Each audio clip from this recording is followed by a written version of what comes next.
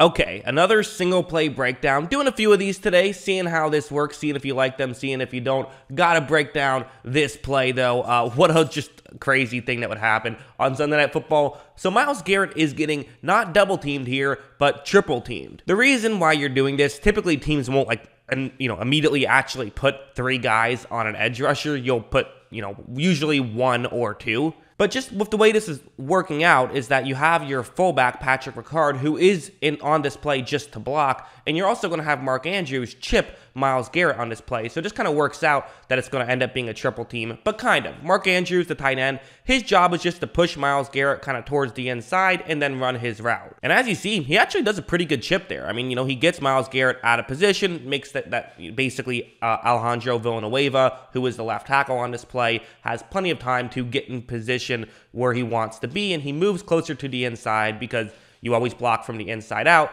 But there's a double team going on there, so he has plenty of room to block Garrett. Also, what's happening on this play is that Garrett, what he actually really likes to do is his speed rush, which a lot of people might not guess because of how strong he is, but that's what makes him so tough to block is he does the speed rush, gets to the edge, and then you can't really push him aside. But now he can't do a speed rush, so you've taken away his best move. However, for Garrett, he has plenty of moves. Taking away his best move and putting three guys on him, well, even that isn't enough. Watch him just go and initiate that contact right there. He's going to try just a bull rush, and fullback Patrick Ricard, he could just never get over there. I think he was expecting Garrett to go a little bit more towards the side. So you've now basically gotten past two out of the three guys you have to get past. The flip side is typically this is how most plays start, right? Is that you have a tackle on an edge rusher. Typically you expect to be able to block this way at least sometimes, but Garrett's got to be thinking, listen, I got by two guys already. I can't now let the third guy beat me. Garrett has his left